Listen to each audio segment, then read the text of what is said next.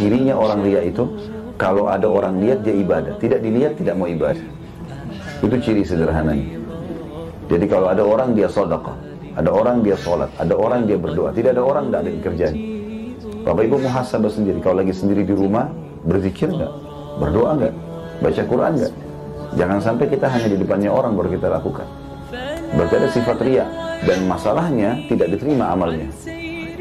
Jadi nggak boleh ada ini, ria sama sekali nggak boleh. Dan kita harus melatih diri kita untuk terbiasa agar tidak ria ini merahasiakan amal. Biasakan itu.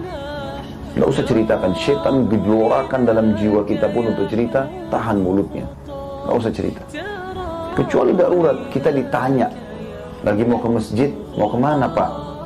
Sholat ke masjid, tinggal kita kontrol. Tapi kalau tidak ditanya, kita cerita, ini kan masalah.